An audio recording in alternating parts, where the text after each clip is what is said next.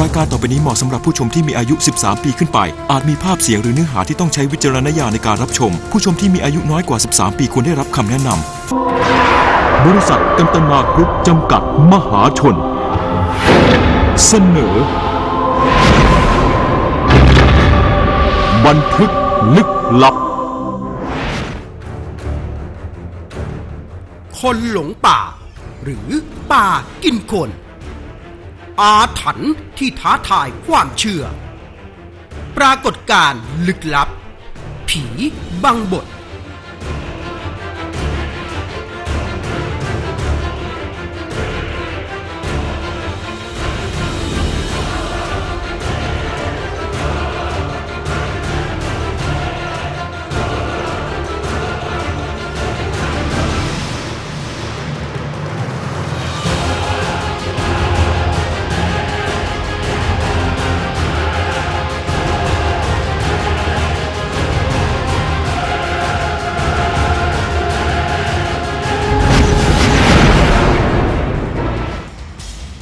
การณ์ลึกลับในวันนี้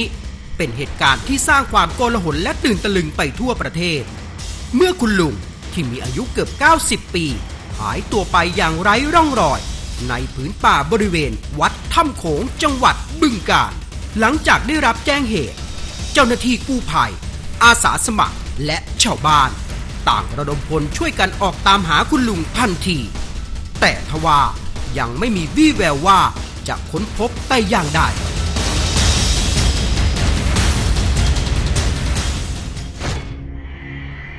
วัดถ้ำโขงที่รายล้อมไปด้วยป่าเขา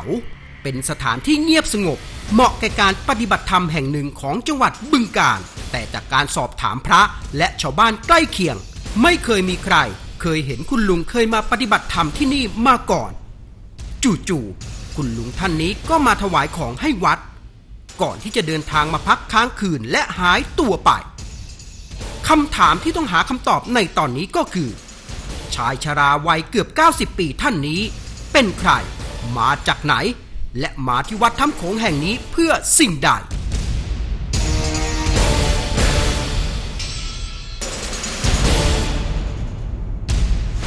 จากการรับแจ้งจากญาติคือคุณตาที่หายตัวไป มีภูมิลำเนาพักอาศัยอยู่ที่จังหวัดขอนแก่นเดินทางมาที่วัดถ้ำโขงพร้อมกันกับลูกชาย เพื่อที่จะพาลูกชายมาบวชเป็นพระอยู่ที่วัดถ้ำโข ช่วงแรกก็มาถวายคล้องพอมาเห็นสถานที่ก็อยากจะบวชพออยากจะบวชก็นัดวันกันแกก็ให้มาแกมาพักอยู่ทำโขงนี่แหละมาถึงวัดถ้ำโขงเมื่อวันพฤหัสที่ 7 พฤษภาคม และพักค้างคืนอยู่ที่วัดเป็นเวลาหนึ่งคืน วันรุ่งขึ้นตอนเช้าคือวันที่ 8 พฤษภาคม คุณตาก็หายตัวไปนะครับ ทันทีที่เจ้าหน้าที่กู้ภัยเดินทางมาถึง การวางแผนค้นหาชายชราที่หายไปอย่างลึกลับจึงเกิดขึ้น เนื่องจากว่าวัดถ้ำโขงแห่งนี้ พื้นที่ส่วนใหญ่ถูกโอบล้อมไปด้วยพื้นป่าและเขาสูง การวางแผนค้นหาจึงต้องรัดกุมเป็นอย่างมาก เพราะไม่เช่นนั้น ทีมค้นหาอาจหลงป่าได้ จุดเริ่มต้นนะครับ นี่คือถนนทางลาดยางที่จะเข้าไปบริเวณน้ำตกถ้ำพระนะครับ ก่อนจะถึงจะมีสถานีควบคุมไฟป่าที่เป็นของกรมอุทยานสัตว์ป่าและพันธุ์พืชตั้งอยู่บริเวณด้านขวามือริมถนนนะครับ เลยจากสถานีควบคุมไฟป่าไปประมาณ 50 เมตร จะมีทางแยกขวาเข้าไปจะเป็นวัดถ้ำโขงนะครับ บริเวณวัดถ้ำโขงนี้คือจุดที่คุณลุงหายตัวไปนะครับ เบื้องต้นการปฏิบัติการค้นหาของหน่วยกู้ภัยนะครับ ก็คือค้นหาในอาณาบริเวณรอบๆ วัดถ้ำโขงนะครับ บริเวณรอบๆนี้วันแรกนะครับ เบื้องต้นเราจะค้นหาจุดที่หายไปคือบริเวณด้านข้างศาลากับกุฏิที่พักในรัศมีประมาณ 1 กิโลเมตรรอบนอกนะครับ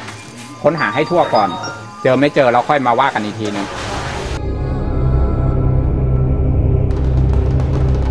สอบถามจากญาติผู้สูญหายนะครับ รับแจ้งว่าหลังจากที่ทานอาหารเช้าเมื่อตอนประมาณ9โมงเช้าที่โรงครัวนะครับ ผู้สูญหายคือคุณลุง ได้เดินจากโรงครัวมาตามเส้นทางนี้นะครับ เดินมาตามเส้นทางนี้นะครับ มุ่งหน้าขึ้นไปช่องทางที่เป็นทางดินนะครับ ข้างบนจะเป็นกุฏิที่พักที่คุณลุงมาพักค้างคืนเมื่อคืนก่อนนะครับ จุดสุดท้ายที่ญาติพบเห็นคือบริเวณนี้ครับ ที่คุณลุงเดินเข้าไปแล้วหลังจากนั้นก็หายตัวไปเลยครับ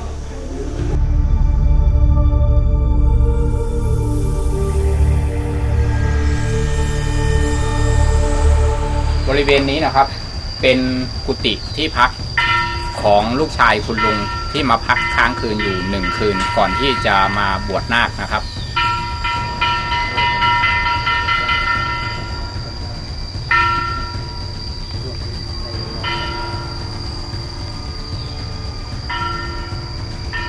ส่วนบริเวณใกล้กัน เป็นกุฏิที่คุณลุงมาพักอยู่หนึ่งคืนก่อนที่จะหายตัวไปครับ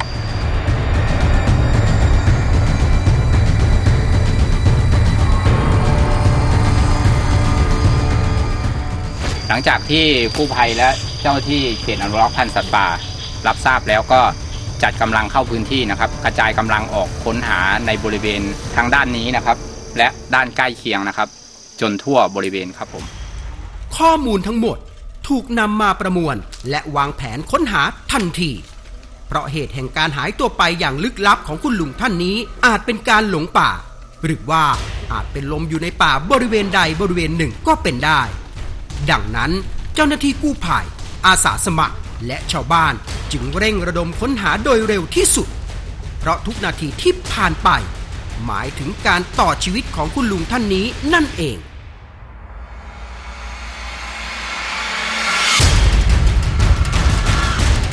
บริเวณนี้นะครับเป็นบริเวณใกล้เคียงกับกุฏิที่คุณลุงหายตัวไปนะครับ ด้านบนจะเป็นหน้าผาสูงนะครับ แล้วก็มีทางเดินเรียบหน้าผา ด้านล่างก็จะเป็นหน้าผาที่มีกอไผ่รกอยู่นะครับ สันนิษฐานว่าคุณลุงอาจจะหน้ามืดตกลงไปในหน้าผา หรือหายตัวไปในบริเวณใกล้เคียงแถวนี้กู้ภัยก็กระจายกำลังกันออกค้นหาบริเวณนี้นะครับ ไม่ต่ำกว่า 2 กิโลโดยรอบนะครับ ทุกซอกทุกมุมทั้งกลางวันและกลางคืน จาก 2 กิโลเมตร ไม่พบร่องรอยใด ๆ รัศมีการค้นหาขยายไปเป็น 5 กิโลเมตร รอบบริเวณวัด แม้จะเป็นการค้นหาที่ยากลำบาก เพราะพื้นที่เต็มไปด้วยป่าเขาและหน้าผาสูงชัน ทีมค้นหาทุกคนจึงเร่งระดมกันอย่างเต็มที่ โดยทุกคนหวังเพียงว่าจะพบคุณลุงในสภาพที่ยังมีลมหายใจ โดยรอบบริเวณนี้นะครับ 4-5 กิโลเมตร ในรอบนี้ หาจนทั่วก็ยังไม่เจอตัวนะครับ 2-3 วัน ก็เริ่มขยาย รัศมีการค้นหาให้กว้างขึ้นนะครับ เข้าไปในบริเวณเขตอนุรักษ์พันธุ์สัตว์ป่าภูวัวนะครับ การจะเข้าไปในพื้นที่เขตรักษาพันธุ์สัตว์ป่าภูวัวได้ จะต้องทำการขออนุญาตจากเจ้าหน้าที่ก่อน ดังนั้นทีมค้นหาจึงส่งทีมเดินทางไปยังสำนักงานเขตรักษาพันธุ์สัตว์ป่าภูวัว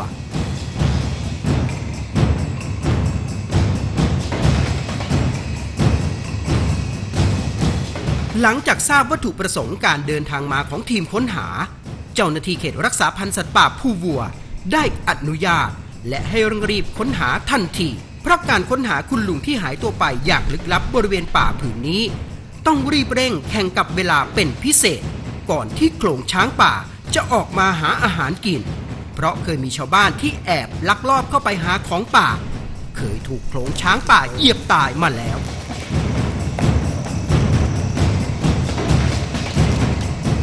บ่ายสองหรือบ่ายสามจะลงมา เส้นทางมันผ่านนี้ เส้นนี้แล้วก็จะขึ้นไปไอ้น้ำไอ้น้ำตกทำพระน้ำตกทำพระจะขึ้นไปห้วยดอกไม้ห้วยดอกไม้กินยา แล้วก็เข้าไปโป่งช้างที่อาหารช้างที่ป่าก้อนน้ำอ้อยเออเมื่อก่อนน่ะสำรวจได้ 36 เชือก แต่เดี๋ยวนี้ลูกมันออกมาก็จะประมาณ 40 ในขณะที่สายตาสอดสายค้นหาแทบทุกตารางนิ้ว ทีมค้นหาก็ต้องระแวดระวังช้างป่าโขลงใหญ่ เพราะไม่เช่นนั้น อาจทำให้ทุกชีวิตที่ร่วมค้นหา ได้รับอันตรายถึงชีวิต ก่อนที่จะเจอคุณลุงก็เป็นได้ ขณะที่เจ้าหน้าที่ดำเนินการค้นหาแข่งกับเวลาอย่างระมัดระวัง บรรดาญาติของคุณลุงก็เลือกที่จะช่วยค้นหาด้วยวิธีอื่น ในระหว่างการปฏิบัติการค้นหาหลังจากที่มีการค้นหาในพื้นที่นะครับ มีการเดินค้นหาตามจุดที่คาดว่าจะหายตัวไป แต่ก็ยังไม่พบตัวนะครับ ทางญาติก็ไม่ได้นิ่งนอนใจ จึงได้ไปติดต่อผู้ที่สามารถที่จะมาเป็นร่างทรง หรือไปนิมนต์พระอาจารย์ที่มีชื่อเสียงในเขตบริเวณนี้ มาเพื่อที่จะใช้วิธีทางไสยศาสตร์เข้าช่วยนะครับ ทางร่างทรงก็ได้มาเข้าทรง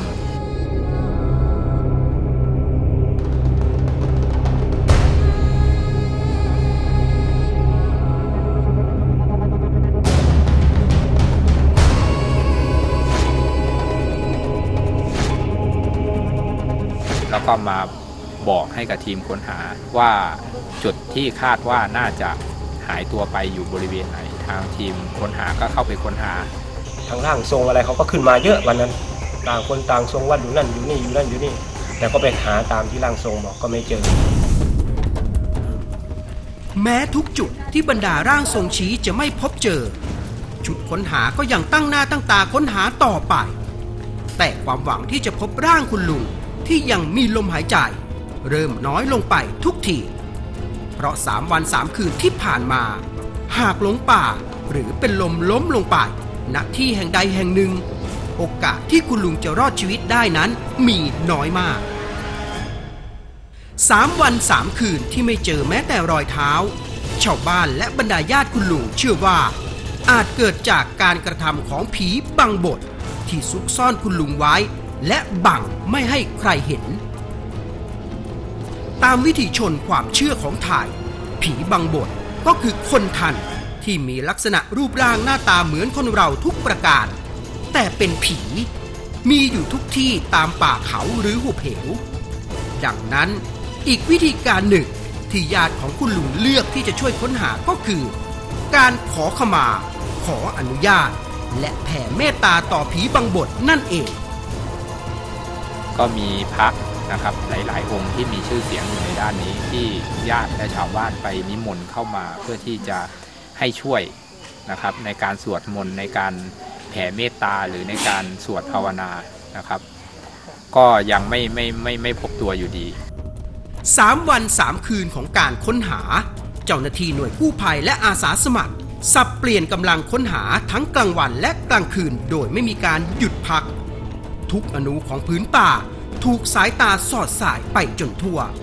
ไม่เว้นแม้แต่หน้าผาสูงชัน หรือทานน้ำในผืนป่า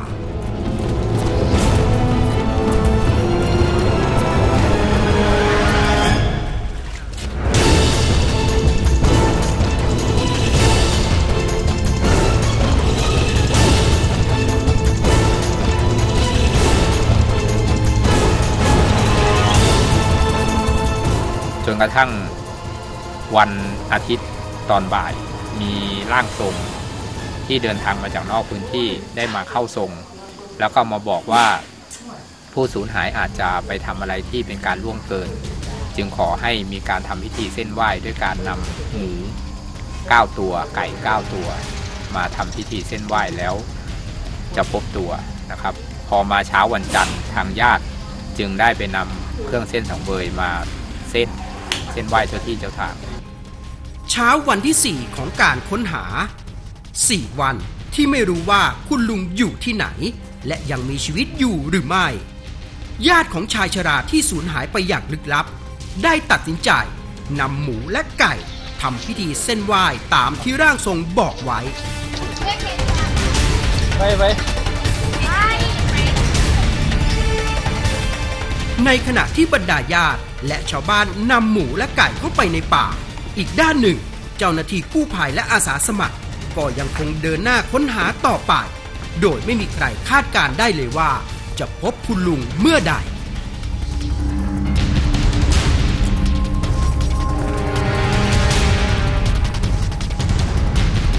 จะเพราะการแผ่เมตตาของพระสงฆ์ เพราะการทำพิธีตามที่ร่างทรงบอก หรือ ราะความพยายามของเจ้าหน้าที่ทีมค้นหาก็ตามบ่ายสองของวันที่ 4 ปาฏิหาริย์ก็เกิดขึ้นกลางป่าภูวัว และหลังจากที่มีการปฏิบัติการค้นหาอยู่ในป่าเป็นระยะเวลา 4 วันกับ 3 คืน จนได้มาพบตัวคุณตาเมื่อวันจันทร์ที่ 11 พฤษภาคมครับ ในเวลาประมาณ 11 นาฬิกาของวันจันทร์ครับ ผมเดินลงมาผมเห็นคุณลุงนอนอยู่ตรงนี้ กลางลำห้วยถ้ามืดตอนแรกนะครับก็ไม่มั่นใจนะว่าจะใช่คนที่สูญหายหรือเปล่าเพราะว่าต้องเอาไลน์ออกมาดูนะครับเพราะไม่เคยเห็นหน้านะครับ แล้วก็ถามว่าใช่พ่อใหญ่สุทัศน์ที่สูญหายไหมแกก็ตอบว่าใช่นะครับ สภาพจะพูดง่ายๆไปไม่ได้แล้วทั้งนอนทั้งนั่ง แล้วก็ผมก็โทรไปบอกให้คนมารับ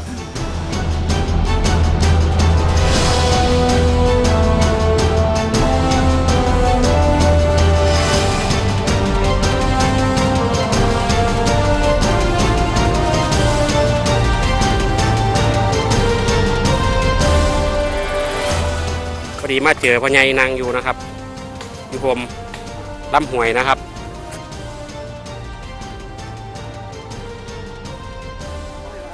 สิเปลี่ยนผ้าให้พ่อใหญ่นะครับตัวนี้ครับ มาฮอดกะหาน้ำหาเขาให้พ่อใหญ่กินนะครับ ตอนนี้ครับรองจันทร์มันกำลังเฮ็ดเสลียงหามอยู่นะครับ ตัวนี้กำลังรอ กูสีบอยู่นะครับจักสีมาถือบ่ถือนะครับว่าอยู่นี่บ่มีคืนโทรศัพท์เลย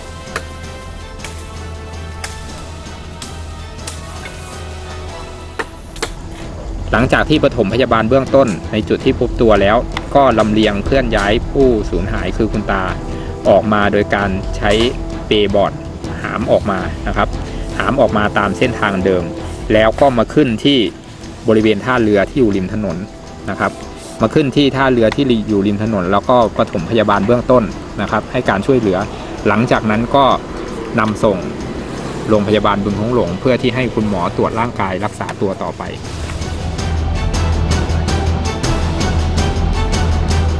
หลังจากปฐมพยาบาลเบื้องต้น ทันทีที่ร่างกายเริ่มฟื้นตัว คุณลุงก็ถามคำถามแรกกับเจ้าหน้าที่ทันที ลูก ลูกได้บวชยัง ลูกผมได้บวชยังเพราะว่าไปบวชแล้ว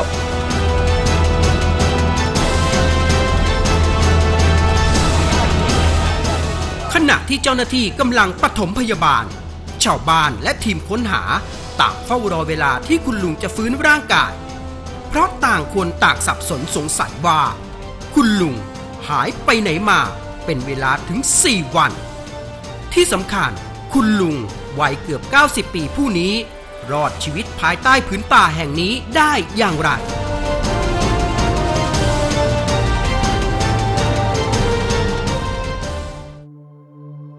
วันที่พบตัวคือ 4 วันหลังจากนั้นนะครับ จุดที่พบตัวบริเวณนั้นชาวบ้านจะเรียกว่าห้วยถ้ำมืดนะครับ อยู่ใกล้เคียงกับถ้ำมืดจะเป็นลำห้วยนะครับ ซึ่งห่างจากจุดที่หายตัวไปนะครับ ระยะทางประมาณ 8-10 กิโลเมตร เป็นพื้นที่ในป่านะครับ มีลำธารมีห้วยมีหน้าผานะครับ ซึ่งการเดินทางจากจุดนี้ไปถึงจุดที่พบตัวเนี่ย ถ้าใช้เวลาเดินแบบเร่งรีบ ไม่ต่ำกว่า 4 ชั่วโมง จะถามว่าแกแกอยู่ได้ยังไงนี่นี่ผมก็ยังงงๆอยู่นะครับผมงงงงมากเลยว่าแกอยู่ได้ยังไงแกก็ไม่ได้ขยับไปไหนนะครับ จากที่รู้ว่าตัวเองหลงถือว่าแกก็มีประสบการณ์เรื่องของการเดินป่ามากพอสมควรนะครับ เพราะว่าถ้าถ้าลงแล้วถ้าเดินไปนี่กำลังก็จะตัวตรงอย่างนี้นะครับ ว่าแกอยู่กับที่นะที่บริเวณที่แกนั่งอยู่นะครับสามคืนสี่วันที่หายไปสามคืนสี่วันที่เร่งระดมค้นหา ชาวบ้านส่วนหนึ่งเชื่อว่า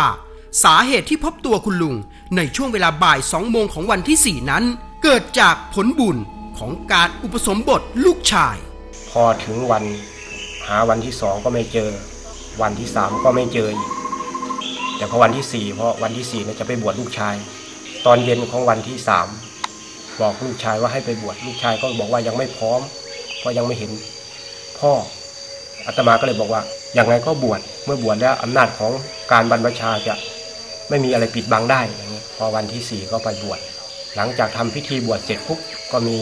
โยมทางนี้โทรไป บอกว่าเจอพ่อแล้ว จะเป็นเพราะผลบุญในการบวชที่บรรดาผีบังบทได้รับ หรือเพราะสิ่งใดก็ตาม ขณะที่ลูกชายคุณลุงกำลังทำพิธีอุปสมบทอยู่ที่วัด ทีมค้นหาก่อนที่จะพบคุณลุง ก็ได้เผชิญกับเสียงลึกลับ เสียงที่เชื่อว่านำทางมาให้พบกับคุณลุงนั่นเองชวนกันกินข้าวเพราะมันจะเที่ยงผมบอกผมบอกเองเลยว่าผมหมดแรงแล้วกินข้าวกันก่อนดีกว่าก่อนตามหา ประธานแกเลยบอกว่า เออ ถ้าจะกินจริง ๆ ไปกินรวมกันดีไหมเรียกพวกที่อยู่ข้างล่าง มากินด้วย เรียกอยู่สามสี่ครั้งก็มีแต่เสียงตอบรับ เวลาเราลงไปดูไม่มีใครเลยมีแกอยู่คนเดียว โดยสัญชาตญาณแล้ว เวลานั้นจะให้แกร้องโบกเวกโบกเวกเหมือนที่พวกผมร้องเรียกแกคงร้องไม่ได้ เวลาที่เจอแกแล้วแกแกพูดได้นิดเดียวเสียงก็ไม่ค่อยจะดังแล้วนะครับผลร่างกายมันอ่อนเพลียมาก ไม่เพียงเสียงลึกลับกลางป่า จากการพูดคุยกับชาวบ้านคนพื้นที่ ต่างยืนยันกับเราว่า เหตุการณ์ทั้งหมดที่เกิดขึ้นกับคุณลุง มันไม่ได้เกิดขึ้นเป็นครั้งแรกสำหรับพื้นป่าแห่งนี้ สมัยหนึ่งเนาะอาตมาเป็นเด็กอยู่ที่ถ้ำพระก็ไปเที่ยวน้ำตกพอโยมคนหนึ่งก็ไปด้วย คนหนุ่มคนสาวน่ะไป พอไปแล้วก็พอกลับมาไม่เห็นพอไม่เห็นชาวบ้านก็ขึ้นไปหา ก็ไม่เห็นได้สามวันนะตอนนั้นลูกสาวผู้ใหญ่บ้านหายอันที่สามก็เจอเจอแกก็ไม่ว่าไปไหน ยืนอยู่เห็นอยู่แต่พูดไม่ได้ถ้าป่าแห่งนี้ เป็นป่าอาถรรพ์เต็มไปด้วยคนทันและความลึกลับ 4 วัน 3 คืนที่หายไป คุณลุงวัย 87 ปีผู้นี้หายไปไหนคำตอบรอคุณผู้ชมอยู่ในช่วงหน้า กับบันทึกลึกลับ